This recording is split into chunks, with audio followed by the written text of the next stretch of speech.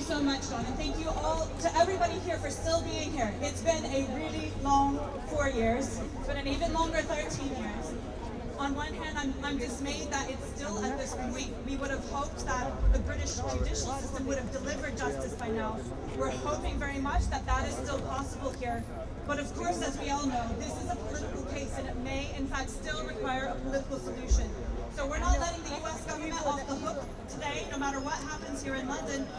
The responsibility still lies with the US Department of Justice. At any point, they could drop the charges, they could close this case, they could let Julian Assange free. This doesn't have, never had to be a matter before the courts, and it does not have to play out in this inevitable way. So let's continue that call on the US to free Assange. Of course, we all know what is at stake here. For my organization, our mandate is press freedom, so we're engaged because of Julian Assange's contributions to journalism.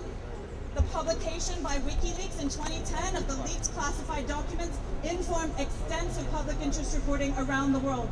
We know that that exposed war crimes and human rights violations, crimes which have never been prosecuted. Only the publisher is being pursued here.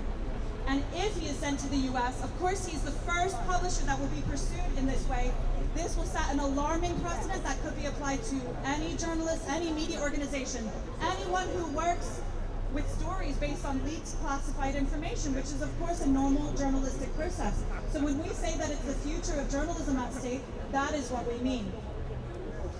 This case has been going on for far too long as we're hearing many politicians finally starting to concede now for 13 long years, we will already never know what stories have not been told as the result of this endless legal persecution of Julian Assange. But if this continues, if he is extradited, if he is put on trial in the US, the chilling effect will be enormous. It will impact media around the world and it will impact all of our right to know because of course this is ultimately about the public's right to information. We have a right to stories in the public interest. I'm going to have to hold this closer, sorry. Um, one thing as well is to remind the world actually where Julian Assange is today. We, after a fight uh, with the prison, similar to our fight for court access over the years at Reporters Without Borders, we were finally able to visit Julian in prison four times between August and January.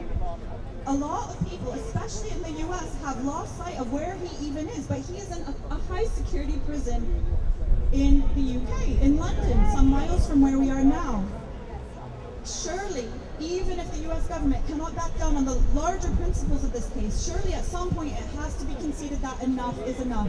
The leaker, Chelsea Manning, served seven years in prison. President Obama commuted her sentence, stated that it was disproportionate. So why would the publisher, under any pretext of legality here, face up to 175 years simply for publishing information received? It is absurd. But let's remember Julian today. We know his state of mental health. The last time I saw him, I was quite concerned about his uh, state of physical health as well. He had broken a rib from coughing so much.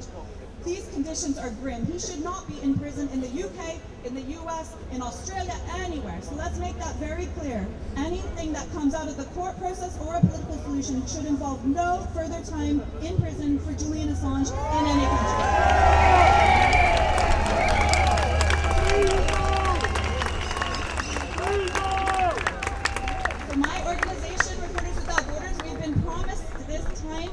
in court accredited for the first time as NGO observers, and I very much hope that that will be respected today because we've had quite a long history of access problems here. But I do know, want to note that other organizations have had problems this time, and I know many journalists around the world have been very disappointed not to be able to access remote proceedings as in the past we think that transparency is needed in this case. Journalists should be allowed to do their jobs around the world, and it's particularly concerning for the US and Australian publics to not be as informed as they otherwise would have been if, if there had been full access granted to journalists. So we just urge again the court to consider other solutions to allow journalists and NGO observers to do their jobs. This hearing is overwhelmingly in the public interest, and we all must be allowed to bear witness and report on what we see.